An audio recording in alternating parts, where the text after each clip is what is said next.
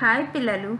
ఈరోజు మనం బోయి భీమన్న గారు రచించిన జానపదుని జాబు అనే పాఠ్యభాగం గురించి నేర్చుకుందాం. ఈ పాఠ్యభాగం యొక్క ముఖ్య ఉద్దేశ్యం ఏమిటి అంటే భారతదేశం వ్యవసాయ ప్రధానమైన దేశం.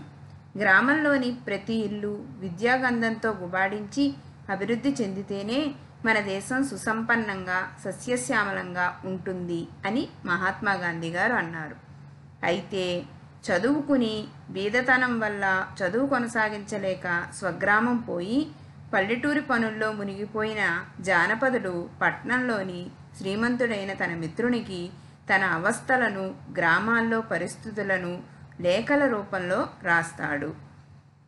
బోయి భీమన్న గారు రచించిన జానపదుని జాబు అనే సంపుటి నుండి సేకరించిన ఒక అంశంలోని భాగంగా గ్రామస్తుల పరిస్థితుల గురించి తెలిపిన సందర్భమే ఈ పాఠ్యభాగం.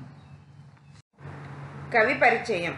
బోయి భీమన్న గారు తూర్పుగోదావరి జిల్లా మామిడికుదురు గ్రామంలో పంతొమ్మిది వందల పదకొండవ సంవత్సరంలో జన్మించారు. అస్పృశ్యత అధికంగా ఉన్న నాటి కాలంలో దానిని తన కలం ద్వారా రూపుమాపాలని ఎన్నో రచనలు చేశారు. ఈయన జర్నలిస్టుగా ఉపాధ్యాయుడిగా రాష్ట్ర శాసన మండలి సభ్యులుగా పనిచేశారు. క్విట్ ఇండియా ఉద్యమంలో పాల్గొన్నారు. పాలేరు గుడిసెలు కాలిపోతున్నాయి జానపదుని జాబు మొదలైన రచనలు రచించారు. ఈయనకు కళాప్రపూర్ణ పద్మశ్రీ పద్మభూషణ్ సాహిత్య అకాడమీ అవార్డులు కలవు. ఈయన రెండు వేల ఐదవ సంవత్సరంలో పరమప్రదించారు నెచ్చెలి క్షమిస్తావనే అనుకుంటున్నాను. లేక ఆలస్యమైంది. ఆలస్యానికి కారణం లేకపోలేదు. మీ పట్టణాల్లో లాగా కాలం కరకట్టుగా నడవదు మా పల్లెల్లో. ఈవేళ నిరుద్యోగమైతే రేపు తీరిక లేని పని. మళ్ళీ ఆ మరునాడు పని మందం. ఈ విధంగా ఉంటుంది స్థితి. అందుచేత స్థిరంగా ఈ వేళ ఇది చెయ్యాలి ఆ వేళ అది చెయ్యాలి అని కార్యక్రమం తయారు చేసుకోవడానికి ఏమీ అవకాశం ఉండదు. గ్రామాల్లో సాధారణంగా ఉండే ఈ అస్థిర భావమే నీకు లేఖ వ్రాయుట ఆలస్యం చేయించింది కాలం చాలా విలువైంది. గ్రామాలు ఈ విలువ గ్రహించడానికి ఇట్టి అస్థిర స్వభావం తొలగాలి. నెచ్చెలి అంటే స్నేహితురాల? అంటే ప- ప- పట్టణంలో ఉండే స్నేహితురాలికి పల్లెటూరులో ఉండే ఒక వ్యవసాయదారుడైన స్నేహితుడు లేఖ రాస్తున్నాడనమాట. అనమాట లేఖ రాయడానికి ఆలస్యమైందని క్షమించమన్నాడు. ఎందుకు ఆలస్యమైంది అంటే పట్టణంలో లాగా పల్లెల్లో ఒక సక్రమంగా పనులు జరగవు. ఒక టైం టేబుల్ ప్రకారం పనులు జరగవు. ఎందువల్ల అంటే ఒకరోజు పని ఎక్కువగా ఉంటుంది ఒక రోజు పని తక్కువగా ఉంటుంది. అందువల్ల లేఖ రాయడానికి ఆలస్యమైంది అని చెప్పి చెప్పాడు. ఈ గ్రామాల్లో ఈ అస్థిర స్వభావము అంటే అంటే అస్థిర స్వభావము అంటే ఏంటంటే ఒక సక్రమమైన టైం టేబుల్ ప్రకారం పనులు జరగవు అని. అంటే కాలం విలువ తెలుసుకోవాలి అంటే ఈ అస్థిర స్వభావం అనేది తొలగాలి అని చెప్పి ఆ జానపదుడు చెప్తున్నాడు. మొన్ననే నీకు లేఖ రాయాలనుకున్నాను కానీ ఆ వేళంతా పని. ఒక్క క్షణమైనా తీరుబడి అయ్యింది కాదు. ఆ రాత్రి రాయాలని కలము కాగితం పట్టుకుని దీపం బుడ్డి దగ్గర కూర్చున్నాను. కిరసనాయన పొగ కళ్ళల్లో పడుతుంది. కళ్ళు జబ్బు చేస్తాయి అని మాయమ్మ అంది. పొద్దస్తమానము పనిచేస్తావు. పడుకోకూడదా? అన్నాడు మావయ్య. అది. ఇక ఓ రోజు ఖాళీ అయింది కదా అని సాయంత్రం పూట దీపం బుడ్డి దగ్గర లేఖ రాయడానికి కూర్చున్నాడు ఆ జానపదుడు. రాస్తూ ఉంటే ఆ తల్లి అన్నదట కిరసనాయల పొగ కళ్ళల్లో పడుతుంది. కళ్ళు మండుతాయి.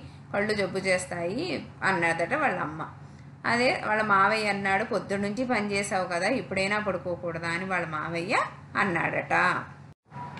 అన్నోయ్ ఈ లెక్క చెప్పి పడుకో అంటూ పలక తీసుకువచ్చింది మా చెల్లి. అది రూపాయల గుణకారం లెక్క లెక్క చెప్తున్నాను.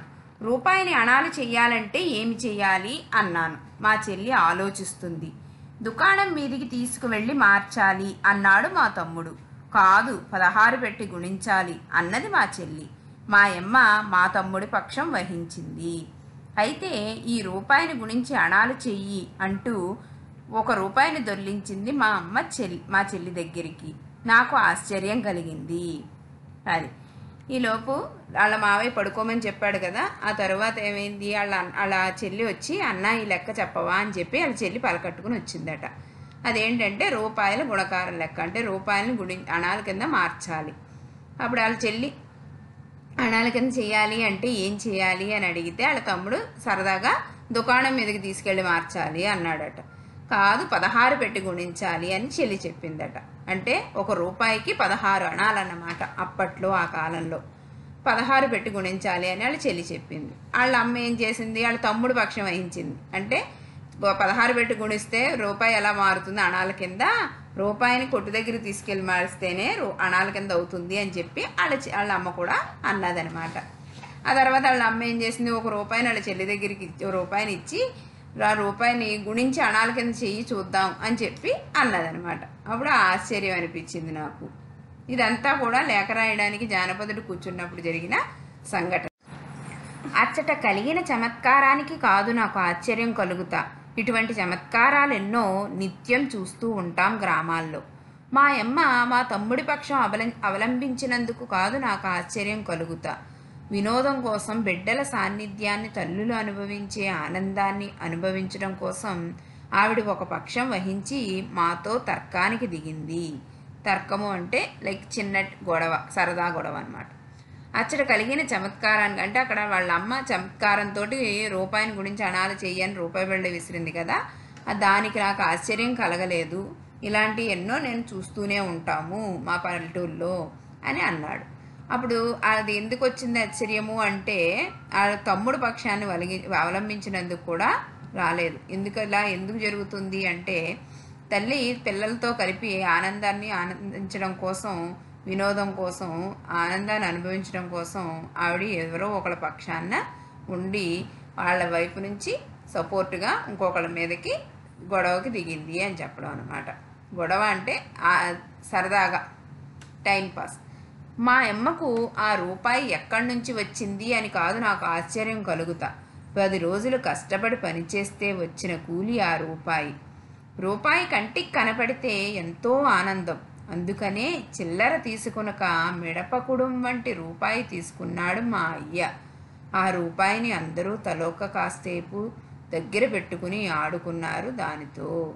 అది అంటే అక్కడ రూపాయి అంటే పది రోజులు కష్టపడి పనిచేస్తే కూలి డబ్బుల కింద ఒక రూపాయి ఇచ్చేవారనమాట ఆ కాలంలో. ఆ రూపాయి కనపడేటప్పటికి ఎంతో ఆనందంతో ఉండేది. అందువలన చిల్లర డబ్బులు తీసుకోకుండా మినపకుడుం వంటి రూపాయి. మినపకుడుం అంటే లైక్ ఆవిరి కుడుము ఇడ్లీ ఇడ్లీలాగే పళ్ళెల్లో వేసేదాన్ని మినపకుడుం అంటారు. ఆ మినపకుడుం వంటి ఏ రూపాయిని తీసుకున్నాడట కూలీ కింద వాళ్ళ అయ్య. అయ్య అంటే నాన్న. ఆ రూపాయిని అందరూ కూడా దగ్గర పెట్టుకుని ఆ సే- ఆ రూపాయితో ఆడుకున్నారు.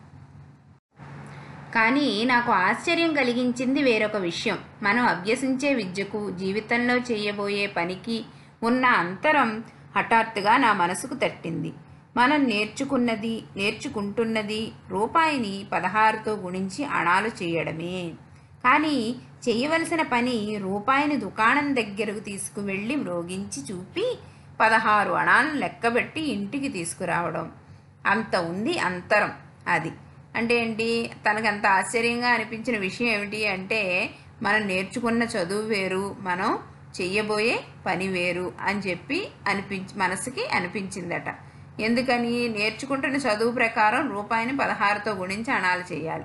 కానీ అణాలకి మనం బతుకుతున్న బతుకు విషయంలో అయితే జీవితంలో అయితే రూపాయిని కొట్టుకు దగ్గర తీసుకెళ్ళి పదహారు అణాల కింద మార్చాలి. అది చదువుకున్న చదువుకి బతుకుతున్న జీవితానికి గల తేడా అని చెప్పాడనమాట చూసావా? చదువులు చదువుతున్నాం. పట్నాల్లో ఒక రూపాయి దమ్మిడీలాగా ఖర్చు పెడతాం. చదువు పూర్తవగానే ఉద్యోగాలకు దేవుళ్ళాట మొదలు పెడతాం. అందరి కాళ్ళు పట్టుకుంటాం. సఖా ఇన్ని తిప్పలు ఎందుకు? బతకడానికి.